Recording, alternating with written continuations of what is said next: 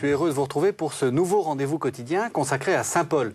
Depuis la semaine dernière, vous le savez, nous avons en effet décidé de dédier entièrement une émission à l'apôtre pour l'année Saint Paul.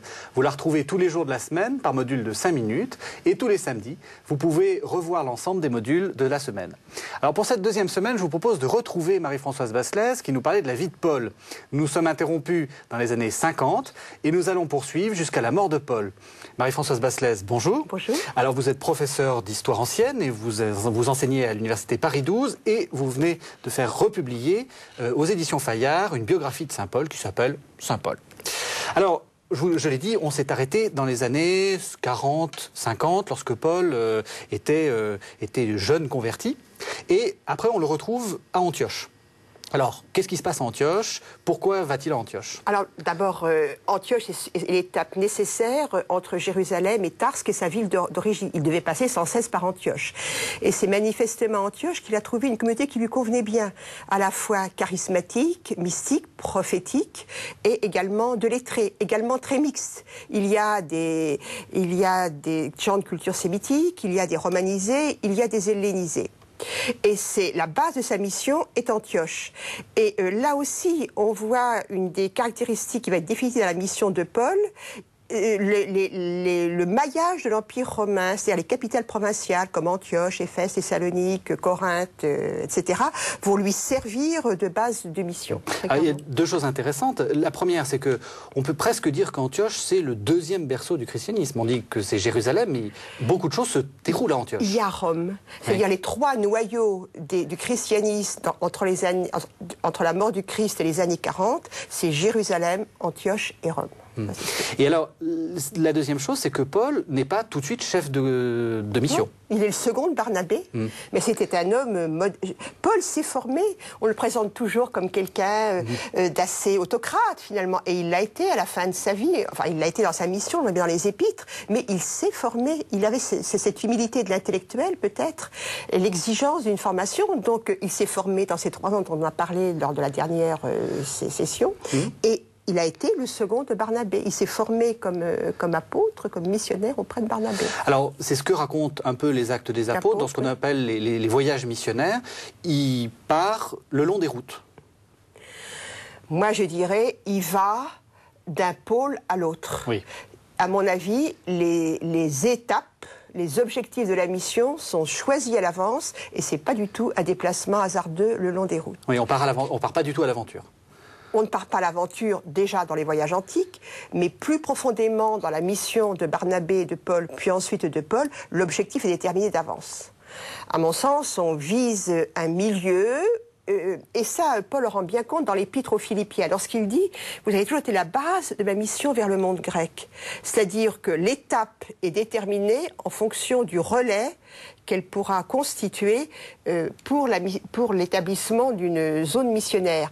Il ne faut pas penser Paul, à mon avis, il ne faut pas penser Paul marchant le long des routes et s'arrêtant quand, quand, la situation est propice. Pas hmm. du tout. Quand il est bien reçu, pas du tout. Alors, ça dure combien de temps, cette période euh, Presque une dizaine d'années. Hmm. Et alors, pourquoi ça se termine? Alors, il y, a, euh, il, y a, un moment où la rupture euh, se fait entre Barnabé et Paul, certainement donc sur la question de l'intégration au monde grec, c'est-à-dire dans quelle mesure il faut abandonner certains modes de culture du judaïsme pour davantage s'immerger dans le monde gréco-romain. Et c'est à ce moment-là que donc non seulement euh, Barnabé, mais également Marc, qui est peut-être le Marc évangéliste ou un autre Marc, qui étaient les premiers compagnons de Paul, vont avoir leur, leur, leur euh, mission, euh, une mission, un projet missionnaire différent. C'est ce qu'on appelle l'incident d'Antioche. C'est la conséquence de l'incident d'Antioche, qui a directement opposé Paul et Pierre, comme Paul le raconte dans l'épître aux Galates. La question est de manger ou de ne pas manger avec les Grecs et les Romains. Donc en suivant ou en ne suivant pas la les, les, préceptes cachèrent. Et évidemment, dans une société où tout se faisait autour de banquets, la vie politique, la vie amicale et tout ce que vous vouliez, euh, en termes de stratégie ou de dynamique missionnaire, c'était très important. Où on allait manger avec les non-juifs, ou on n'allait pas manger avec les non-juifs. Et donc Paul s'en va Paul s'en va. Et ce choix, à mon avis, est important, et même encore pour nous aujourd'hui, à partir du moment où il dit euh, on, peut, être chrétien en juif ou en grec, il dissocie culture et religion. Et ça, c'est révolutionnaire.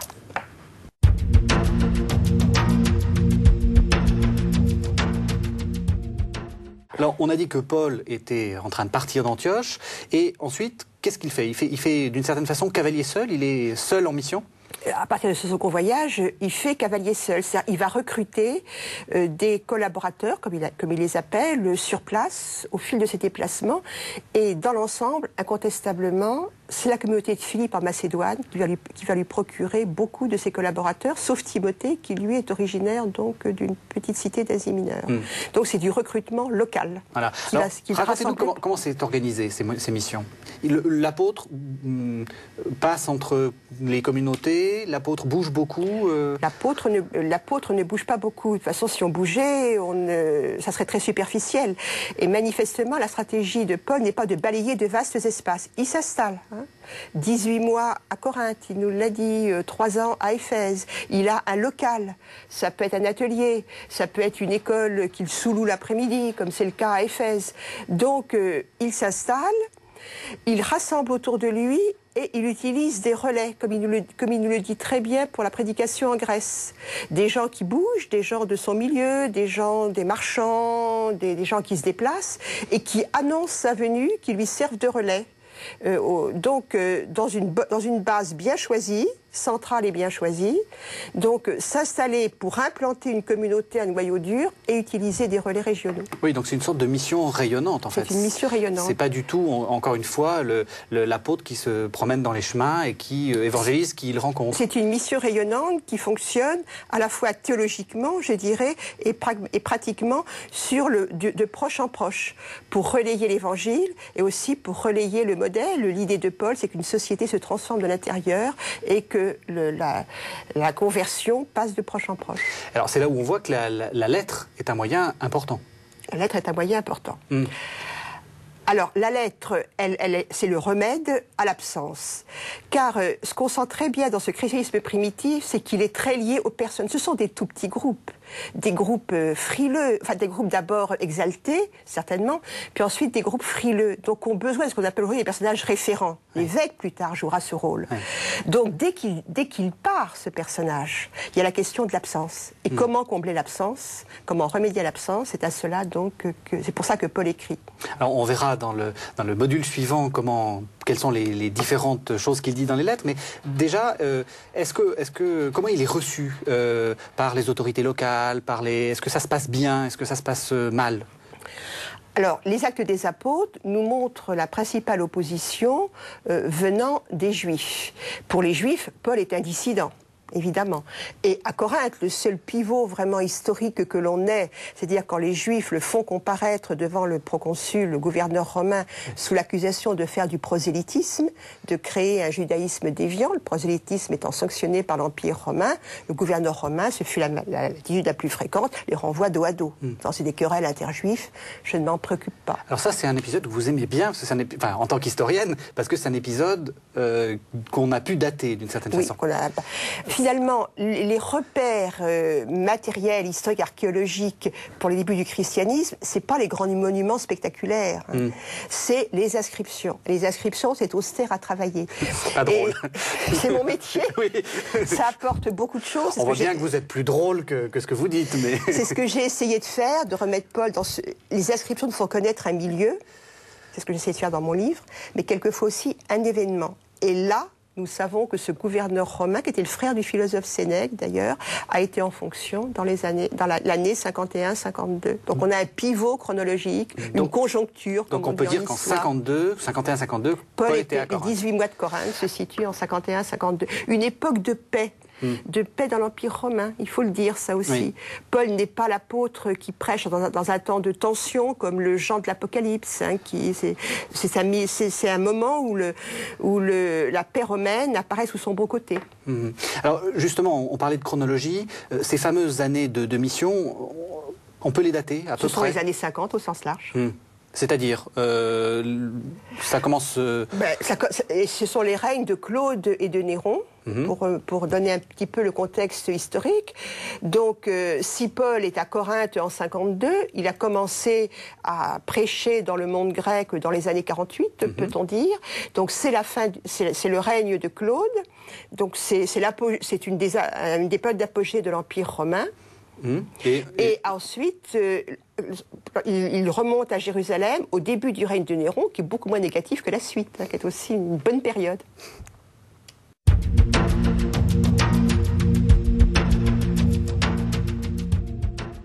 Alors, on parlait des, missions pauliniennes, maintenant on va parler des, lettres. Et on va parler un peu de pourquoi Paul euh, écrit, écrit les lettres. Quelles sont les, raisons principales Vous avez dit c'est remédier à l'absence, mais c'est aussi traiter des problèmes.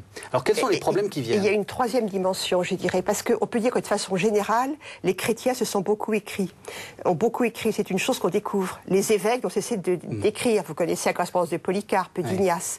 Donc, il y a à la fois euh, remédier à l'absence, il y a à la fois traiter des problèmes des communautés, mais aussi construire un réseau épistolaire. Et c'est une façon donc de prendre en compte l'universalisme de la mission est une façon d'aller de proche en proche. Hmm. Parce que les lettres sont recopiées, conservées, recopiées, sélectionnées, recopiées, conservées. Et probablement commenté. Donc c'est aussi l'occasion de, de, faire une prédication à partir dès le deuxième siècle que les lettres font partie des lectures liturgiques. Que Les mm. lettres de Paul, dans certaines communautés, font partie d'Afrique, mm. font partie de la lecture, des lectures liturgiques. Alors on revient quand même à, Paul. Euh, pour, quels sont, de quoi il parle? Quels sont les, les, problèmes qu'il traite? Alors il y a euh, à la fois, c'est révélateur de, de, la structure de la communauté, dans ce qu'on lit jamais dans les assemblées, c'est-à-dire le début et la fin, tout ce qui est l'aspect un peu privé, un peu pratique. Euh, pratique des lettres. Oui, c'est tout, euh, saluer. Euh, saluer, mais donc on peut, dire bonjour. Si on peut reconstituer le, le, milieu de Paul, l'environnement de Paul, c'est par là qu'on le fait. Euh, il y a ensuite donc les, les difficultés des communautés à partir du moment où l'apôtre est absent, ce qui montre bien que les, ces groupes chrétiens se construisent sur l'autorité personnelle. Et ces difficultés, elles sont d'un triple niveau. D'une part, donc, l'exaltation individuelle qui, bouillonne. Paul emploie souvent ce mot à partir du moment où il est absent et dans le désordre. Mhm. Et pour Paul, donc, il y voit le danger de dériver en secte avec une fragmentation, chacun voulant prendre la direction de la communauté. C'est ce qu'on voit par exemple très nettement à Corinthe, où il dit il y a ceux d'Apollos, ceux de... Voilà. Et là, on sent bien qu'il a en tête le danger de ces groupes chrétiens qui ne, sont, qui ne sont pas des églises encore, hein, qui sont des groupes très personnalisés. Il y a ceux de Pierre, ceux de Paul, de dériver en secte. Il y a ensuite le fait que cet espace est balayé par d'autres missionnaires, qui ne sont pas forcément uniquement des missionnaires juifs réagissant à la prédication de Paul, mais d'autres missionnaires chrétiens. Il y a des courants qui s'opposent. Et là, Paul a une formule, a des formules très belles en disant il y en a un qui sème, l'autre qui arrose et un troisième qui plante. Je simplifie un peu, mhm. mais c'est toujours pour la gloire de Dieu. Donc il a été conscient donc encore de cette dimension universaliste de la mission qui doit passer par-dessus la division des personnes. Il y a des moments où il n'est pas tendre. Il n'est pas tendre dans Galate. Il n'est pas tendre dans Galate, qui était un vrai brûlot. Oui, parce qu'il faut expliquer, c'est des, missionnaires qui sont probablement chrétiens. Qui sont chrétiens. Et, qui viennent dire, mais Paul n'a aucune euh, autorité pour vous parler d'une part, on conteste sa vocation d'apôtre, sa légitimité d'apôtre, puisqu'il est un apôtre qui n'a pas vu le Christ, qui n'a pas vu Jésus vivant. C'est un apôtre par révélation. Mhm. Il le revendique mais ça le met euh, à part. Et puis surtout, donc, il y a des groupes euh, plus fidèles à la culture juive. Voilà. Donc, euh, Alors, il y, a aussi, il y a aussi dans les lettres des passages, je pense surtout à Philippiens, où, où il donne des nouvelles de lui-même et où c'est aussi important. Alors ça, c'est le côté autobiographique qui est très émouvant pour l'historien. Pour l'historien profane, je dirais, Paul est une source documentaire comme on n'en a pas d'autres. Il parle de lui, il dit j'ai vieilli, il dit je suis malade. C'est tout à fait nouveau dans l'Antiquité. Il, y a une il y a une conception de l'homme chez Paul que sa foi chrétienne, par l'imitation, la recréation dans le Christ, a, sublimé, mais il y a aussi une anthropologie, euh, une perception de l'homme fondamentalement qui est tout à fait neuve. Alors il y a aussi, euh, je pense, à, ce petit billet qu'on lit pas beaucoup, qui est, qui est Philémon. Alors ça nous montre déjà qu'il doit régler des problèmes pratiques, et qu'en fait, sa théologie, là, il s'agit quand même de... Sa théologie se bâtit sur des expériences, sur des cas concrets. Et c'est pour ça qu'on dit parfois les contradictoires. Quand il vous dit dans Corinthiens, vous pouvez, vous pouvez manger des viandes immolées au dieu du paganisme ou vous ne pouvez pas. Sa, pensée peut paraître contradictoire parce qu'il réagit en situation. Et l'épître à Philémon, donc, c'est régler le retour d'un esclave fugitif chez son maître. Mais il l'adresse à, la communauté chrétienne.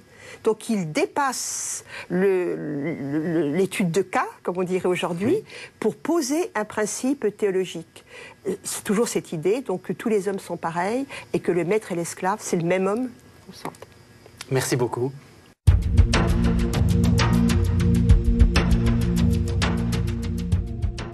On va venir maintenant à la fin de la vie de Paul. Euh, ou la fin de son histoire. Ou la fin de son histoire, parce qu'on ne sait pas exactement, oui, on sait pas exactement quand, combien il, de temps il a vécu. Quand il, quand il meurt. Alors, il y a cette fameuse arrestation. On est à peu près à quelle époque? Ben, On est dans les années 55, mhm. dans, le milieu des années 50, disons. Alors, qu'est-ce qui se passe? Il est arrêté à Jérusalem, il est arrêté au temple en flagrant délit. Et le, motif invoqué, c'est donc qu'il a introduit des non-juifs sur le dernier parvis du temple, mm. celui qui était interdit donc aux non-juifs. C'était la seule manière qu'avaient les juifs de pouvoir euh, euh, solliciter l'intervention policière des autorités romaines des cas de flagrant délit. Mm. Mais on voit là combien c'est un personnage qui effectivement euh, suscite les oppositions.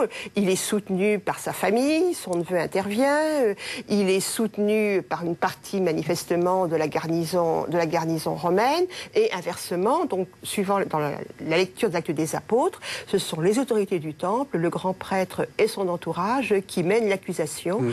et qui mènent l'accusation donc devant le gouverneur qui siégeait à Césarée, qui change d'ailleurs durant cette époque. Mmh. Ce qu'il faut dire, excusez-moi, c'est que euh, tout, ce, tout ce petit monde est juif c'est pour ça que c'est le grand prêtre qui.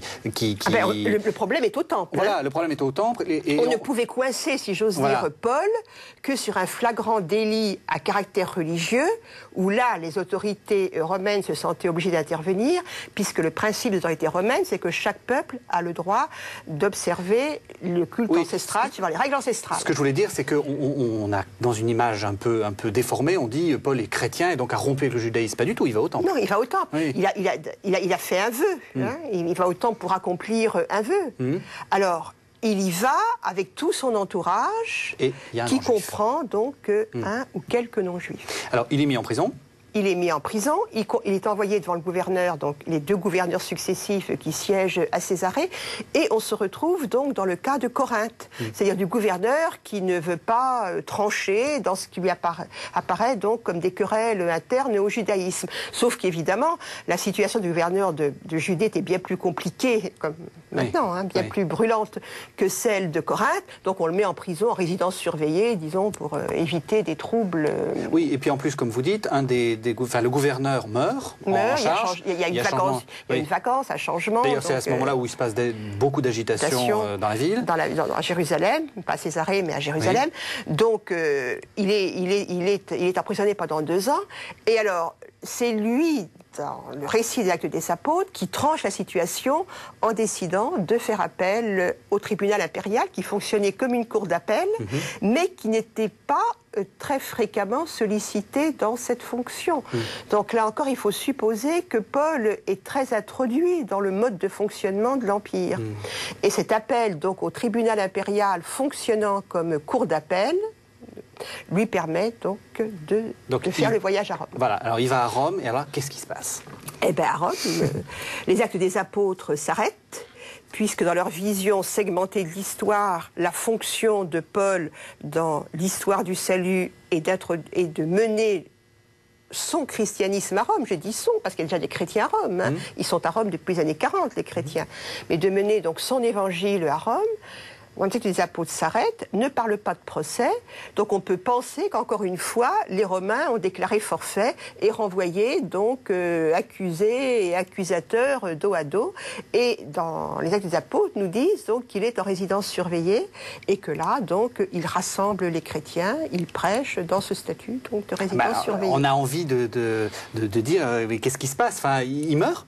Ça n'a pas intéressé. Certainement, il est mort, mais, mais, mais comment il, est mort euh, sans doute euh, bien plus. Il, est mort certainement bien plus tard.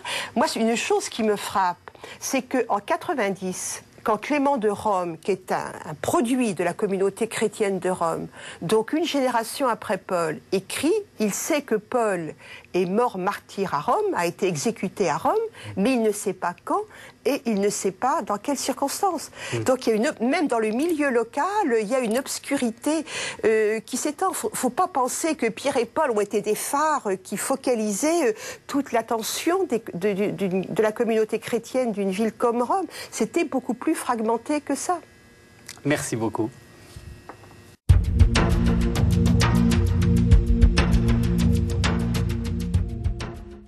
Alors on va venir à la fin de, nos 15 jours sur la vie de, Paul. Euh, après sa mort, qu'est-ce qui se passe? Euh, Est-ce que la, la, tendance paulinienne a de l'importance? Alors, dans quelles circonstances il était mort? Bon, il, a été, il a été décapité comme, un citoyen, comme tout citoyen romain, mais euh, les, pastorales, ces lettres à Tite et à Timothée, nous montrent un éclatement de son groupe, ce qui fait qu'il a peut-être été exécuté comme des philosophes jugés pernicieux, des maîtres à penser jugés pernicieux. Donc il y a un éclatement de son groupe, dont tiennent bien compte les épîtres pastorales.